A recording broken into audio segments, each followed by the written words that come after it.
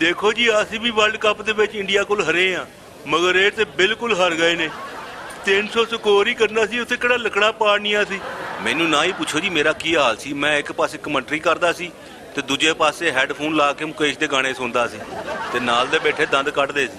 ਹੁਣ ਇਹ ਨਾ ਹੋਵੇ ਕਿ ਤੁਸੀਂ ਹੱਥ ਧੋ ਕੇ ਟੀਮ ਦੇ ਪਿੱਛੇ ਪੈ ਜਾਓ। ਉਹ ਵਿਚਾਰੇ ਜਦੋਂ ਦੇ ਹਾਰਿਆ ਕਮਰੇ 'ਚ ਬਾਹਰ ਨਹੀਂ ਨਿਕਲੇ ਤੇ ਤੁਸੀਂ ਟੋਟੇ ਬਣਾ ਬਣਾ ਕੇ ਉਹਨਾਂ ਦੀ ਬੇਇੱਜ਼ਤੀ ਕਰੀ ਜਾਓ। ਹਲੇ ਤੇ ਵਰਲਡ ਕੱਪ ਦਾ ਪਹਿਲਾ ਮੈਚ ਆ।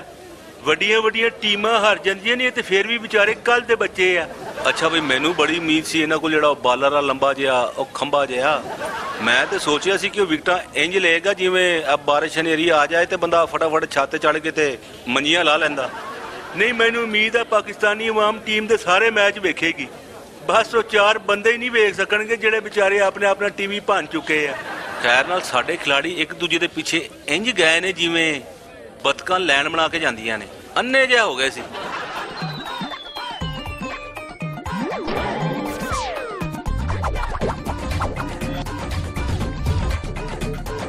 ਤੇਜ਼ਾਬੀ ਟੋਟੇ ਹੁਣ ਤੇਜ਼ ਵਿੱਚ।